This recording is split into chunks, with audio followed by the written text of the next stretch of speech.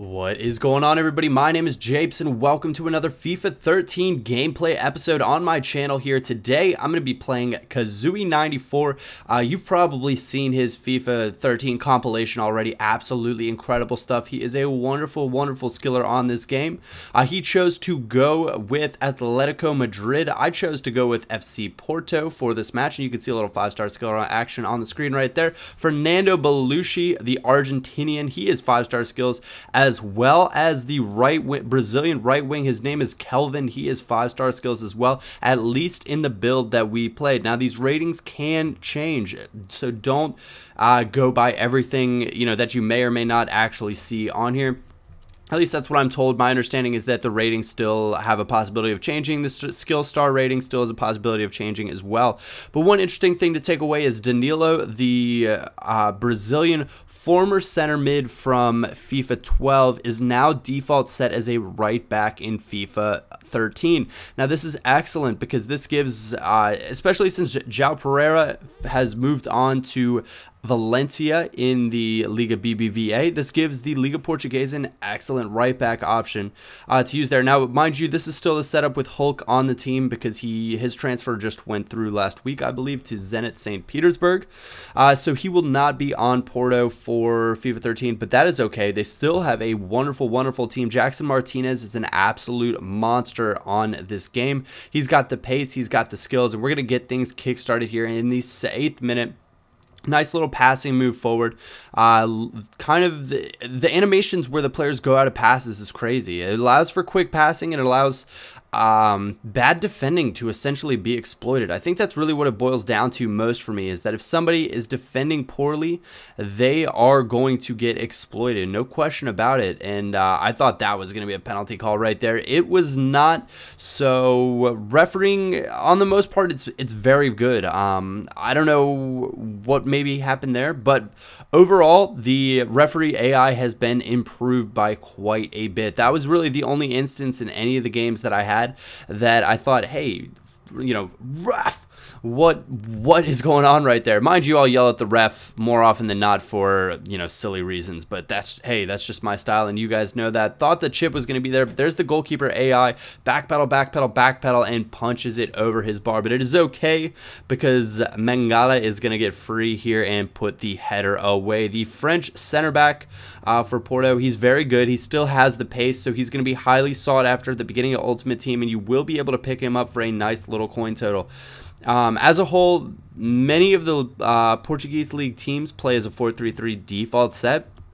And this is uh, not something that I'm extremely good with. But if you are good in a 4-3-3 formation, by all means, check out these teams because they will fit your playstyle 100%. And that's just a wonderful fake from Kazooie, but even better to get back and go for it. That was a manual slide tackle from Mangala, but you see him lift his leg, and that's a bit of that AI that's now been built into the game. You'll see it from time to time with passing as well, where the player will make a pass and he'll chip it up over the defender's leg to make sure the pass, you know, gets on through.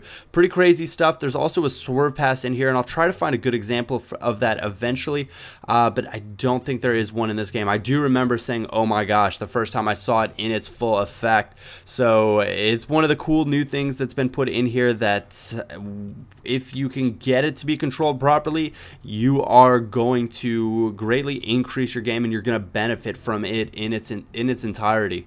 I did mention in the formation video that I did showing you all the default formations that I very much enjoyed, the 4-4-2 diamond wide as well as the 4-2-2. I found myself lacking that attacking mid in this formation. Now Belluschi fits that role wonderfully. He's 5-star skills. However, I want to say that he's transferred to Fenerbahce, which does not mean good things for FIFA 13, but don't quote me on that because I am not totally sure. Now I'm going to briefly run through the first touch control again because I've mentioned it in my past videos where sometimes you're just like, oh my gosh, you're, if the first touch is just let my player down. And this is a wonderful sequence from Kazooie and what an incredible chip at the end of the sequence right after halftime. Absolutely just shredded my defense. Uh, but back to the first touch control. What's interesting about it is it, it, can it can definitely be controlled even with the lower rated teams. Now this is this goes down to your football IQ. It's play the way you're facing. Aim your guy with the left stick to take his first touch into open space. If you do these things, they're going to drastically help.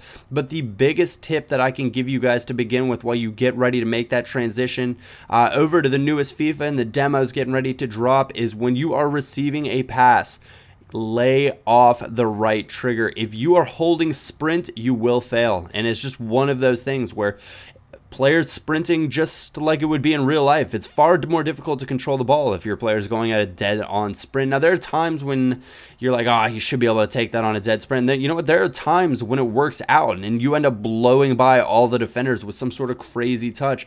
But for the most part, lay off the right trigger. Um, you can even hold left trigger while you're receiving passes to help you out a little bit more. And you will be in good shape and good to go with the transition from FIFA 12 to FIFA 13 and draw a nice little penalty here, showing off some of the skills. Kazooie brings out all the skilling in me. It's one of those weird things where I don't really consider myself to be a skiller, uh, but every so often I suppose it is quite fun to whip them out and have a good time with it. Uh, but Hulk, uh, wonderful little penalty situation, which you just saw Kazooie do right there, is a new kind of feature you can do uh, when you're at a standstill. If you use the left bumper, you can move around the left stick, and it's going to be kind of a FIFA Street esque movement to uh, you know do little pullbacks, draw the ball back, draw the ball forward. Uh, ends up looking very cool. I scored a wonderful goal with Neymar doing something very, very much like that. Hopefully, I'll be able to upload just some of the random goals that I scored sporadically that just didn't really necessarily piece together a full-on nice gameplay. Uh, but we'll have to see. I will do my best to have that uploaded as quickly as possible. As far as uploads go for today i have a few skill games that i'd like to upload. I have a few more gameplay videos that i'd like to upload. So as soon as this video gets that right kind of support uh, i will be uploading more stuff and i'm uploading it quickly. I want to get as much content out to you guys as possible so you can kind of get a feel and an idea for the game and uh, you know start getting your mind right in terms of what you what your plan is for you know how you're going to do head to head, what you're going to work on in the demo, and what players you already might be thinking about getting in Ultimate Team. For those of you that do play Ultimate Team, that is nice little passing sequence though, working it all the way around, and that's what I'm talking about when I say possessions are important, especially the ability to keep possession in your opponent's final third. You will eventually have to work a pass and let your opponent make a mistake defensively. When that happens, you will be able to explore exploit it 10 times out of 10 if your passing is quite good and your vision is quite good on the pitch as well. Anyways, guys, we're closing out this episode here.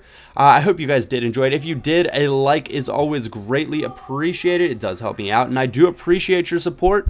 Other than that, my name is Japes, and I will catch you all next time.